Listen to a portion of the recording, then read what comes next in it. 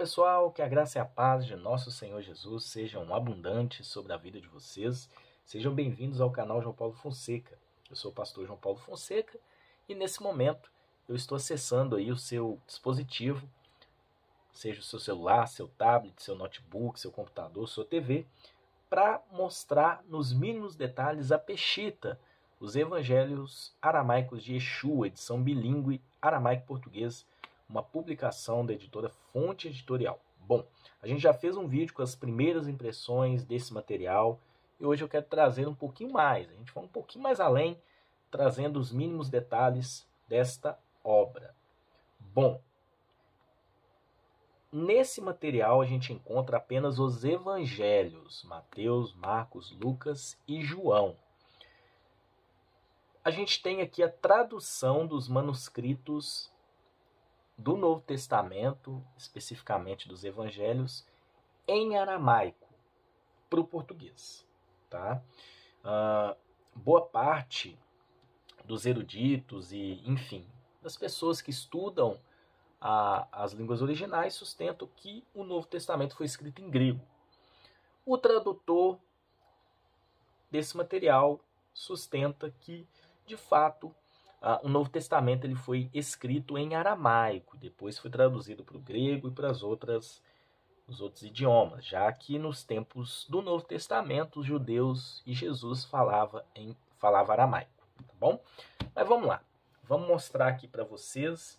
Eu já fiz nas primeiras impressões uma boa análise do material, mas aqui a gente percebe que é um material bem volumoso, Parece até uma Bíblia completa, né? Pela grossura, mas a gente tem só os evangelhos. Eu vou explicar por que esse material ele é bem grosso. Na descrição do vídeo tem um link, caso vocês queiram comprar. Tem na opção capa brochura, que é uma, uma capa um pouquinho mais. que é um valor um pouquinho mais acessível. Nós fomos presenteados por um inscrito, Jimmy. Quero agradecer mais uma vez a ele pelo presente. Ele mandou pra gente na capa luxo, né? Ele mandou a o material aqui com o melhor acabamento, mas tem também capa brochura. E aqui ele mandou pra gente essa cor marrom muito bonita. Tem um fitilho de marcação de página, tem também aqui as a borda das páginas na cor dourada. Vamos lá. A encadernação, uma boa encadernação. É, não é ruim, tá? Embora aqui na colagem talvez eles poderiam ter feito um, com aquela tipo aquela cartolina mais grossa, mas ficou bom. É, aqui a gente tem uma folha, tem a primeira folha de rosto, né, os evangelhos aramaicos de Yeshua, tradução literal, tá, comentada em língua portuguesa. Tá aqui o nome do tradutor, não vou conseguir falar o nome dele, porque eu não falo aramaico, né? Mas está aqui o nome do tradutor é uma edição bilíngue aramaico-português 2021, fonte editorial. Então a gente percebe que ela tem comentários também. Eu vou mostrar para vocês. Aqui a gente tem a ficha catalográfica, todo o projeto da editora Fonte Editorial. Aqui tem uma informação sobre o autor, né? tem aqui o nome israelita dele, mas o nome dele é Fábio Moraes de Aragão. É um brasileiro é um brasileiro que fez esse trabalho, isso é muito legal, nos enche de, de orgulho também, né? E aqui a gente tem um sumário do material. Então tem uma introdução, na verdade a gente encontra as 100 primeiras páginas, a gente vai encontrar um estudo sobre a Peshita, qual foi o objetivo da obra, como foi feita a tradução, a questão da pronúncia das palavras hebraicas transliterata, transliteradas, o aramaico. Então traz aqui um estudo muito completo de praticamente mais de 80 páginas, né, sobre a peshita. Então, antes de você ler o material, é importante você ler a introdução. E aí depois a gente tem a introdução a Bessorá, segundo Matai, que é o Evangelho de Mateus, e ele traz aqui página por página todos os capítulos, né, o as partes dos capítulos. Achei isso muito legal. Para o estudo é muito bom, olha só. Tá aqui um por um. Depois a introdução a Bessorá segundo Yoshanan Marcos, o Evangelho segundo Marcos, da mesma forma. Tem aqui a Bessorá segundo Luca. da mesma forma. E aí depois ele finaliza com o Evangelho de João, página mil. Página mil. Aí depois a gente tem alguns apêndices e uma bibliografia, mais de mil páginas, e eu vou explicar por que esse material tem mais de, de mil páginas. Embora as folhas são mais grossas, tá? Então por isso que ficou um material bem denso. Então aqui a gente tem uma pequena introdução,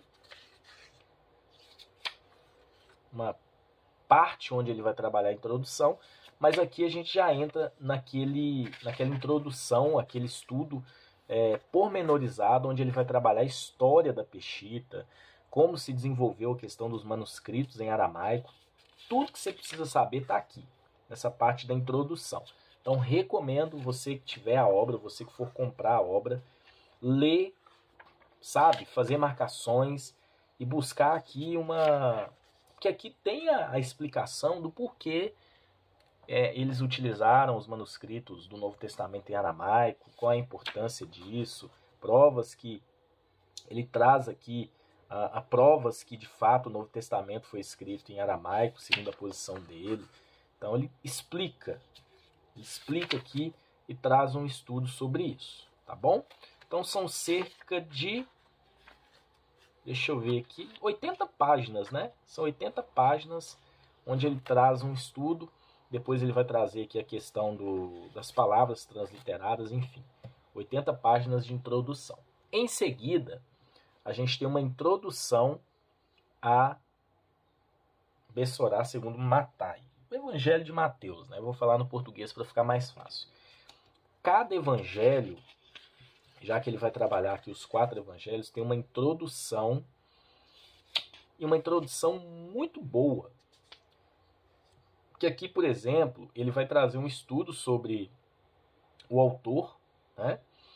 E ele vai trazer um pouquinho também sobre o conteúdo do material, conteúdo do evangelho, material que é trabalhado ali, né? Então, olha só, por exemplo, Matai foi originalmente escrito como um evangelho destinado aos leitores, né, os fariseus, consoante as seguintes evidências. E ele vai citar o porquê. Há 261 citações, alusões e paralelos entre seus escritos e o Tanakh, inferindo-se daí que o público-alvo destina um alto conhecimento das escrituras. Isto se enquadra perfeitamente no perfil dos fariseus. E aí ele traz aqui, ocorre a apresentação logo de início da genealogia. Então ele traz provas que Mateus escreveu para os judeus. O Evangelho segundo Mateus contém vários temas principais, tal como os demais sinóticos. E aí ele vai explicando. Né? Uma introdução muito completa, trazendo estudos. Olha só. Yeshua no Evangelho de Matai não é descrito apenas como profeta anunciado por Moshe, Moisés, né? que interpreta a Torá com, para o povo de Israel, mas como superior ao próprio Moisés. Na história da tentação, Yeshua, Jesus, como Moshe, jejua por 40 dias e 40 noites, é desafiado a realizar um milagre através das pedras que lhe dão e lhe são mostrados todos os reinos do mundo. Quando Moshe vê tão somente a terra de Canaã, enquanto Moshe morre fora da terra prometida, Yeshua para ela retorna. Né? Associação legal que ele vai fazendo aqui com Moisés. E aí a gente entra no texto bíblico. Matai é, síncope do nome Matiarro é o nome de Mateus tanto em hebraico como em aramaico, significa presente de Yahvé. Então traz aqui um estudo bem legal nessa parte aqui. Bom, como funciona a diagramação do texto bíblico? A gente tem à esquerda, a gente vai ter o, a transliteração para o português ou a tradução literal para o português, e aqui na direita a gente tem o texto em aramaico, sempre lido da direita para a esquerda. Tá? E aqui ao lado a gente tem estudos, ou na verdade notas, da tradução. Então, por exemplo, você está lendo aqui, começa Mateus assim, né? aqui tem um número do capítulo, capítulo 1, e aqui a gente tem o subtópico ou subtítulo, que lá no índice detalhado você encontra, tá? E a referência, né, do capítulo 1 capítulo 1, versículo 1 ao 17. A organização muito bem feita. E a gente percebe que essa organização, esse espaçamento, acaba ocupando muito espaço, né? Então, por isso que tem muitas páginas, por isso que é um material denso. Então, aqui começa dizendo: Livro da genealogia de Yeshua Hamashia. Né?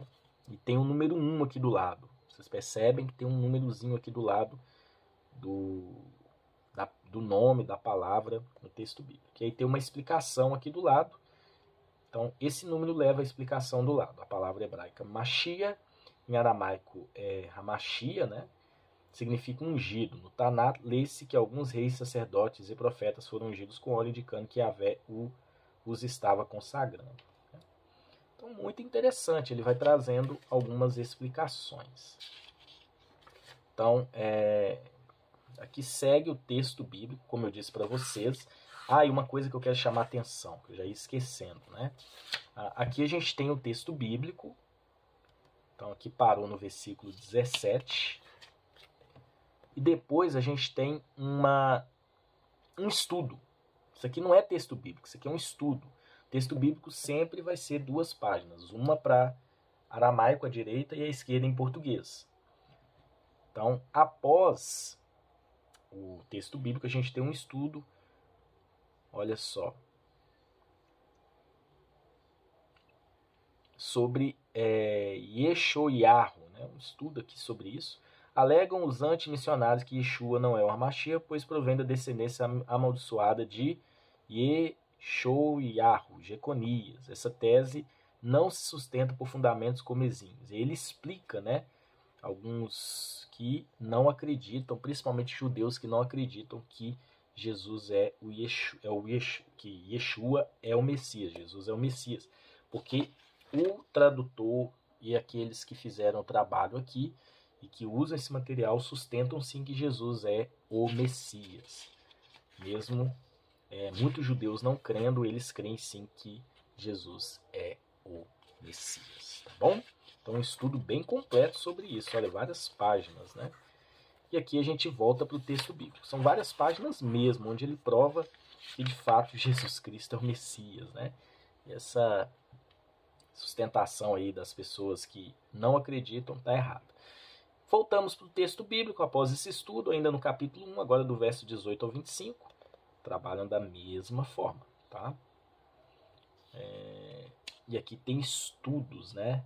Da tradução, sempre na lateral da página. Organização bem feita, né? Aqui tem outro estudo, gente. A gente parou aqui no até no verso 25, mas depois, deixa eu mostrar para vocês aqui uma coisa interessante, que tem um estudo muito legal porque ao final aqui, quando termina essa parte do texto, a gente tem um estudo sobre Yahvé.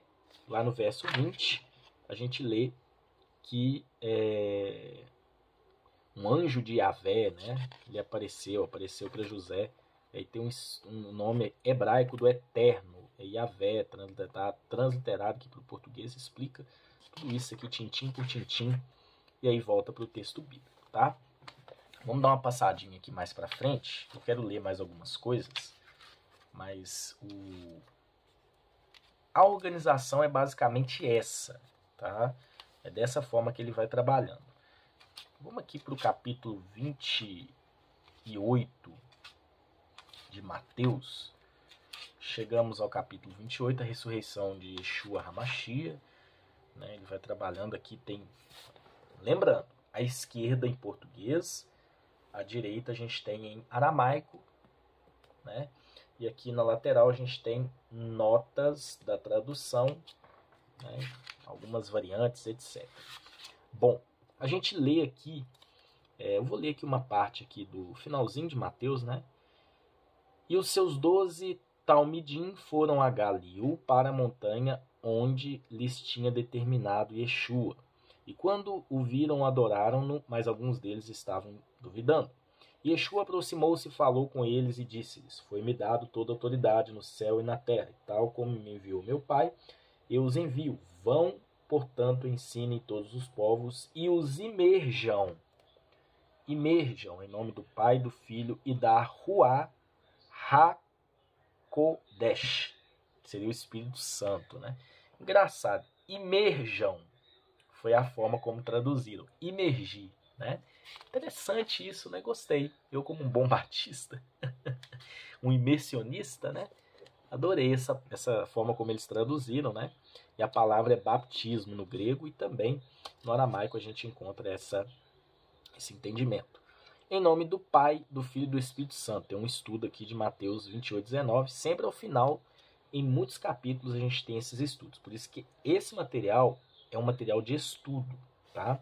Então aqui tem a explicação. Algumas seitas religiosas questionam a originalidade do texto de Mateus 28, 19, alegando que sua redação foi adulterada pela Igreja Católica com a finalidade de comprovar a doutrina da Trindade. Não obstante, tal tese não possui fundamento, quer seja pelo ponto de vista da crítica textual, quer seja à luz da correta exegese do verso, os fundamentos pelos quais mencionadas seitas incorrem em erro ao negar a validade de Mateus 28. Então aqui traz que a, a Peshita em aramaico, o manuscrito em hebraico, falam em imersão em nome do Pai, do Filho e do Espírito Santo. E esses manuscritos não passaram pelas mãos da Igreja Católica. Show, né? Uma prova importante sobre a fórmula batismal, já que esses manuscritos não passaram pela Igreja Católica. A Igreja Católica trabalhava sempre né, no, no grego, vamos dizer assim. Né? Então aqui finaliza Mateus. É... E aqui a gente começa o Evangelho de Marcos, tem uma introdução, é da mesma forma a introdução, bastante páginas, e aí entramos no texto bíblico. Olha só que interessante. O início do Evangelho de Yeshua HaMashiach, filho de Elohim. Então, com, vamos ver aqui a, a explicação 1, né? É, tem aqui uma explicação da tradução. Várias fontes rabínicas ensinam que o filho do homem descrito no citado texto de Daniel é o rei Messias. Interessante. Aqui tem Yoshanã, o imersor, é o mensageiro, né? Então aqui o nome João Batista eles colocaram como Yoshanã, né? João, o imersor. E aqui a gente já tem uma explicação sobre Marcos 1, versículo 1. E aí volta pro texto bíblico, tá bom? Então é um material muito interessante para estudo para você conhecer um pouco, sair um pouco do grego, né? Que a gente sempre, eu particularmente, tenho essa tese que eu defendo, e a maioria dos teólogos estudiosos defende que o Novo Testamento de fato foi escrito originalmente em grego, mas a gente tem essa opção de estudar também alguns manuscritos em aramaico, fazer a comparação, e a gente percebe que, graças a Deus, o Senhor preservou vários textos, né? E no final a gente encontra a viva palavra de Deus, mesmo com algumas diferenças, né? Tem um estudo sobre é, Lucas capítulo 2. Né? É interessante e além desse estudo aqui, aqui tem o Shabá por causa do homem foi criado. Né? Então traz aqui um estudo sobre a questão do sábado. Claro que a, a linha de pensamento né, são, vamos colocar, judeus que creem em Jesus como Messias, mas aqui também, daqui a pouco eu vou mostrar lá no Evangelho de João. Vamos passar aqui um pouquinho aqui, a gente ainda está em Marcos. A gente vai entrar aqui em Lucas, né? Deixa eu chegar aqui em Lucas primeiro antes de ir para João. Que aí vai ficar mais fácil. Então aqui tem uma introdução de Lucas. Lucas foi um médico que se tornou amigo, discípulo companheiro do Rabino Shaul, que é Paulo, né? O Shaul. Mas vamos lá para o Evangelho de João, mas eu quero passar um pouquinho em Lucas também. Então aqui tem o texto em português, aqui tem em aramaico. Então quem sabe ler em aramaico, né, pode exercitar a sua leitura aqui. Eu não leio nada em aramaico. Aqui tem outro estudo sobre Avel eterno. Aqui tem mais estudos, mas vamos lá no Evangelho de João. Que tem chegamos aqui no Evangelho de João mas eu quero entrar na introdução. Introdução a Bechorá, segundo Yoshanan. Então aqui explica um pouquinho sobre quem foi João, como foi feita, qual foi o objetivo dele de escrever o livro, normal. E aí entramos na Bessorá, segundo Yoshanan. Bom, ah, olha só o texto, né? Em princípio era a palavra e esta palavra estava com Elohim e Elohim era aquela palavra.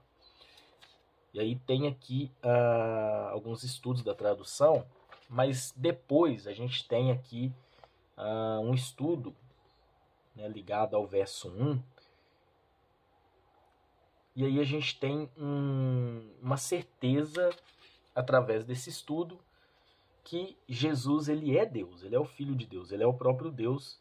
Então, Yeshua, que é a Torá viva, e o Pai são um. Então, alguns estudos com relação a isso. E aqui a gente tem um entendimento que de fato eles creem, o tradutor crê, enfim, que quando, Jesus, quando o texto fala que a palavra, ou a Torá, né, estava com Deus e a Torá era Deus, é que de fato Jesus ele é Deus. Eu achei isso muito interessante. Não negam a divindade de Cristo. Então, muito legal isso. Ponto positivo para esta Bíblia, tá? Para essa tradução. Ah, interessante também a passagem da mulher adúltera de João capítulo 8.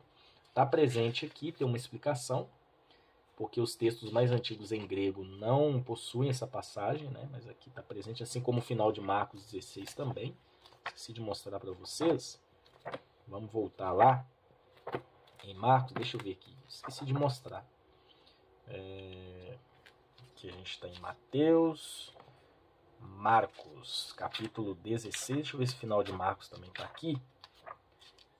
Que aí eu já mostro as duas coisas para vocês. 14, 15, 16. Exatamente aqui a gente tem o final de Marcos e aqui tem uma explicação, tá? O final de Marcos está presente aqui. Vão por todo mundo, proclama minha mensagem a toda criatura. Quem crê e foi imerso, viverá. E quem não crê será condenado. Legal, né? Uh, uma, um detalhe, muita gente pode estar perguntando, onde que está escrito, né? Na página que você está no Evangelho de João, na parte de baixo. Eu achei que poderiam colocar em cima, né? Mas deixar na parte de baixo, bem pequenininho, poderia colocar maior também. O número da página poderia ser um pouquinho maior mas acima aqui a gente tem um número do capítulo de uma forma bem visível, né? Olha só, João capítulo 14, 1. Não deixe o seu coração se perturbar, confie em Elohim em mim. Há muitos quartos na casa do meu pai. Caso contrário, eu lhes teria dito, pois vou preparar um lugar. E se eu for preparar-lhes um lugar, novamente voltarei, os levarei comigo para onde estou, para que vocês estejam também. Ele vai dizer: Eu sou o caminho, a verdade e a vida vai ter uma explicação, né? Ah, sobre caminho, verdade e vida aqui nas notas. Muito interessante, tá? É... Vamos ver o finalzinho aqui de João. Eu gosto tanto do Evangelho de João, né?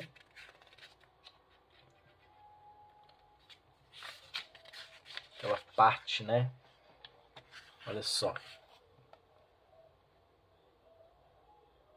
Então tem aqui, João capítulo 25, 15. Ora, depois de comer, Yeshua disse a Shimon Keifa, Simão Pedro, Shimon, filho de Ioná, você me ama mais do que esses? Ele disse, sim, meu senhor, você sabe que eu amo. Então ele disse, pastorei para mim os meus cordeiros. Então tem aqui toda uma explicação. As variantes de manuscritos também, ele traz explicações aqui. Isso é muito legal. E aí a gente encerra o conteúdo aqui dos evangelhos, Mateus, Marcos, Lucas e João. No final a gente tem apêndice, apêndices, o apêndice 1 é o glossário das palavras semitas usadas na tradução. Então, por exemplo, Abba, o que significa pai? Adão, Adão o homem, Adon, Senhor, porque foi usado ali algumas palavras bem é, transliteradas do original, né? Por exemplo, Oxéia, Oséia. Então ele traz aqui caso alguém tenha dúvida. Depois, um apêndice 2, textos do Tanakh citados no Birish é, Shadasha, acho que é assim que fala, eu, eu não sou muito bom no, hebraico não, mas aqui também tem os textos citados, né, que está no Antigo, que cumpre no Novo, enfim. Apêndice 3, profecias messiânicas cumpridas por Yeshua. Todas as profecias aqui do Antigo Testamento que se cumpriram em Jesus. Uma bibliografia também para estar tá te ajudando ainda mais nos estudos. Gente, encerramos o conteúdo da Peshita, os Evangelhos Aramaicos de Yeshua. Vale a pena? Vale a pena sim. Você vai conhecer textos diferentes, pode fazer comparações, estudos, se aprofundar. Todo leitor da Bíblia, todo estudante das, da palavra de Deus, estudante de teologia, estudante das línguas originais, precisa ter um material desse para suas eventuais consultas e também para estar tá analisando os diversos textos que a gente tem. Então vale muito a pena. Na descrição do vídeo eu deixei para vocês o link caso vocês queiram adquirir, tá bom? Agradeço ao Jimmy que nos enviou gentilmente esse material, um inscrito muito querido aqui do nosso canal. Que Deus abençoe todos vocês e até um próximo review, se Deus assim.